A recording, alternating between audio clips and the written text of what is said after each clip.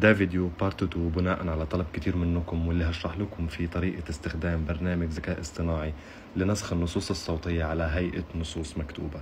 للعمل على موقع Scribie واللي ما شافش الجزء الأول في موقع Scribie بيدفع لك فلوس حوالي من 5 ل 25 دولار في الساعة مقابل إنه بيديك مقاطع صوتية بالإنجليزي مدتها 6 دقائق أو أقل. تنسخ الكلام اللي فيها لنصوص مكتوبة على هيئة مقالات أو حوارات. تقدر تشوف الجزء الأول اللي شرحت فيه الموقع ده والطريقة دي.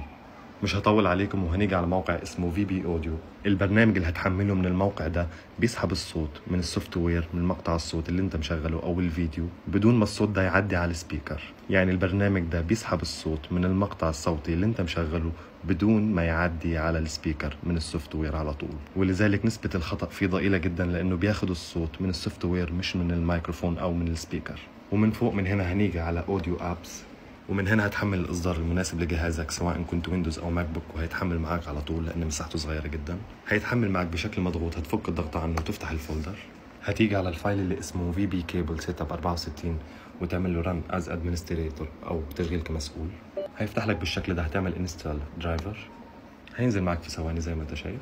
وبعد ما البرنامج ينزل هتيجي على ال icon بتاعت ال sound دي تعمل click يمين تضغط على sound هيفتح لك بالشكل ده.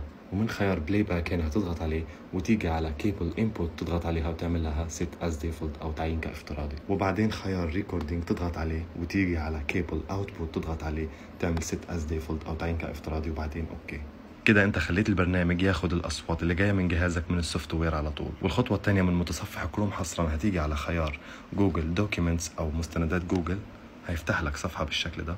وهتيجي من هنا تعمل إنشاء مستند جديد أو create a new document. هيفتح لك sheet بالشكل ده. ومن فوق هتيجي على أدوات أو tools لو أنت بالإنجليزي تختار الكتابة بالصوت. ومن السهم ده تختار اللغة اللي موجودة في مقطع الصوت واللي البرنامج هيكتبها واللي هي الإنجليزي طبعا. هنختار مثلا الإنجليزي US ودلوقتي هنعمل تجربة ونروح لفيديو عشوائي على اليوتيوب. فيه كلام بالإنجليزي ونجربه ونشوف البرنامج هيشتغل معنا إزاي.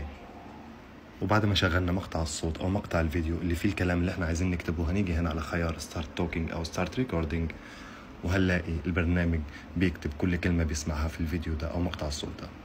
وزي ما أنتم شايفين البرنامج لسه بيكتب لحد دلوقتي. وانت مشغل الطريقة دي مش هتسمع صوت الفيديو لأن الصوت متاخد من ال software بشكل مباشر. بس حتى مع الطريقة دي لازم يبقى عندك مهارات في الإنجليزي لأن في الأول وفي الآخر ده برنامج ذكاء اصطناعي وممكن يغلط وانت بدورك لازم تراجع الشغل ده وتكتشف الخطأ وتصلحه.